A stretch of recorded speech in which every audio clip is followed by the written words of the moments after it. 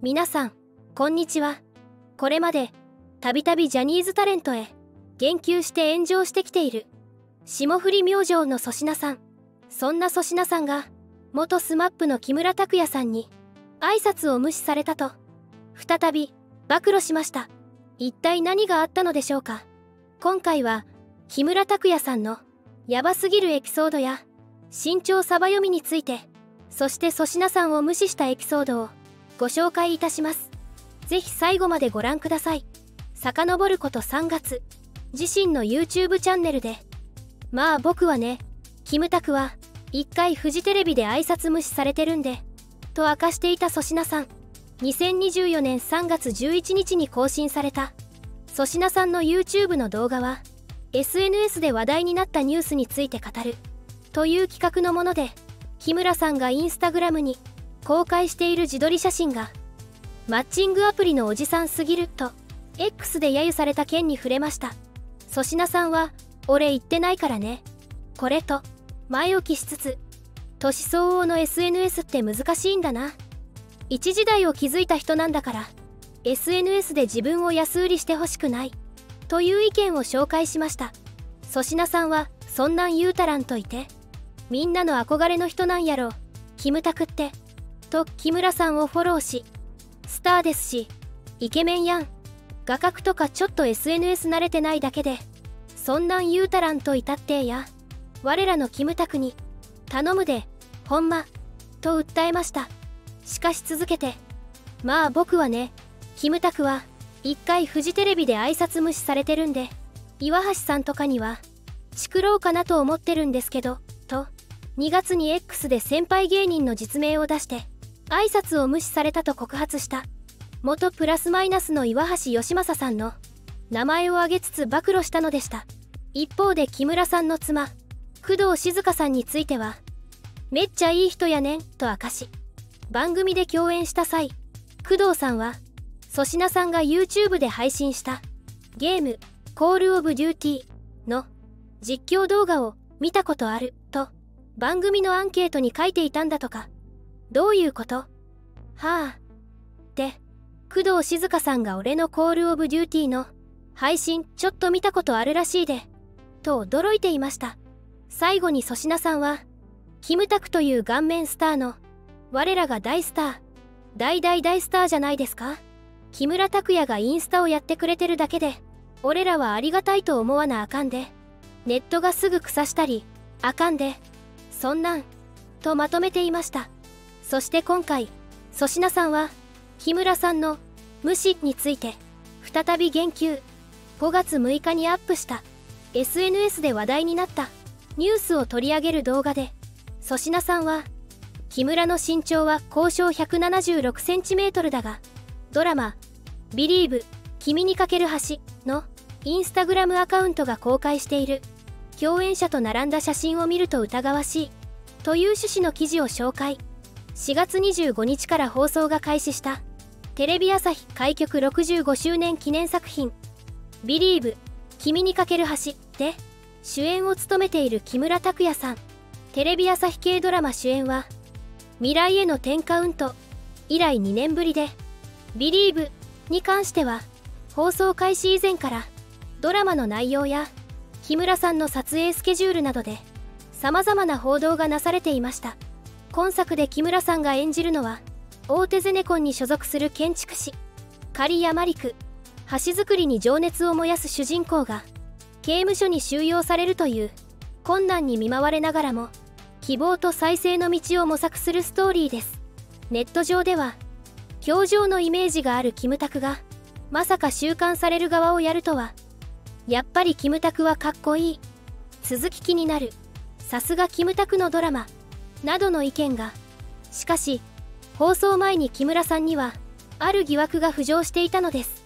4月22日に同局系「帰れマンデー見っけたい」3時間スペシャルの飲食店の人気メニューベスト10を当てるコーナー「帰れま10」にドラマ共演者の斎藤工さん竹内涼真さんと共に登場した木村さん。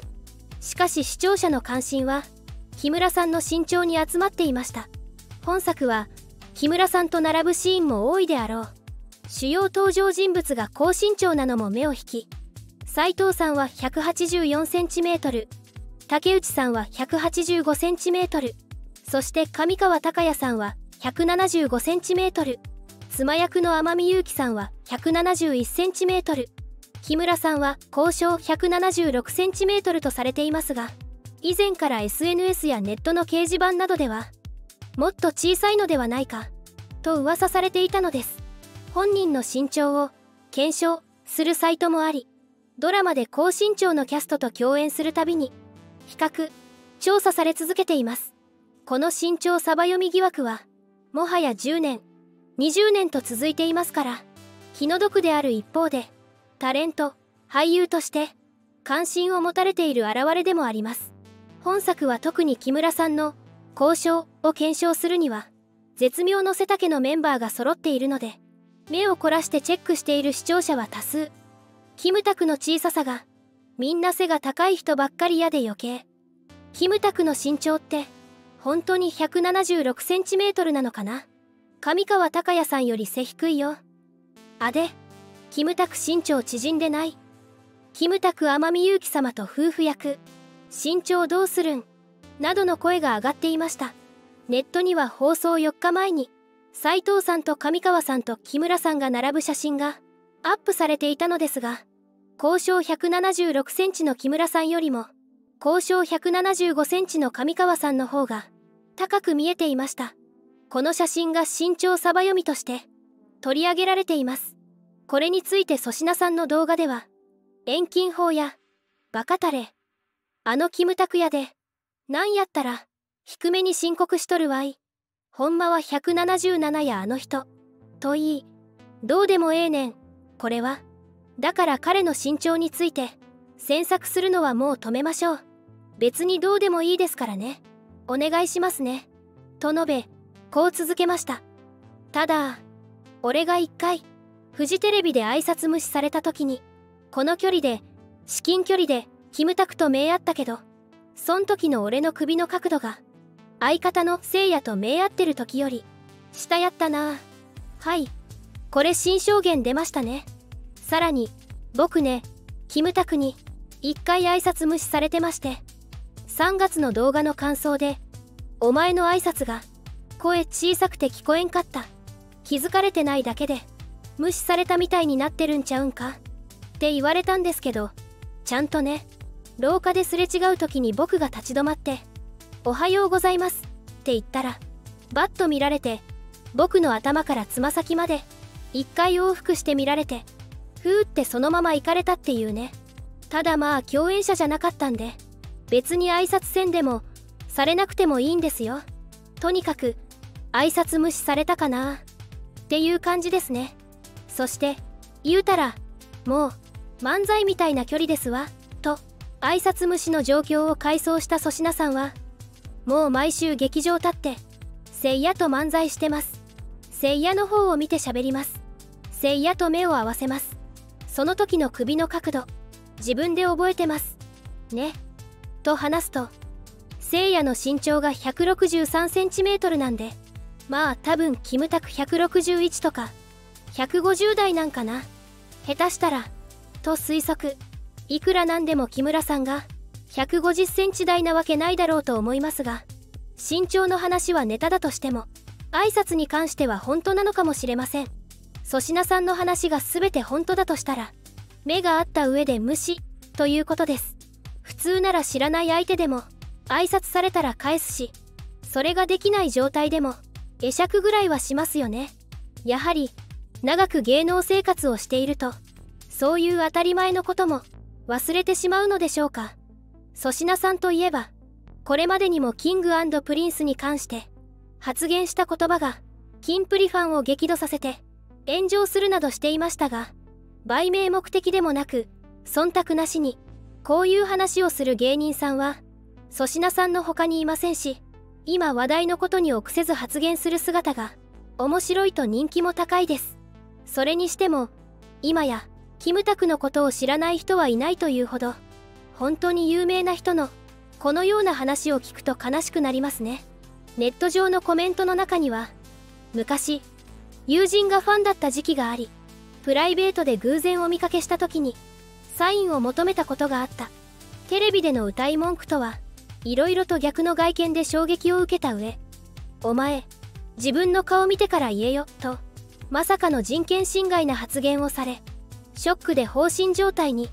心底傷ついていた。以後その振る舞いがトラウマになりファンどころではなくなっていた。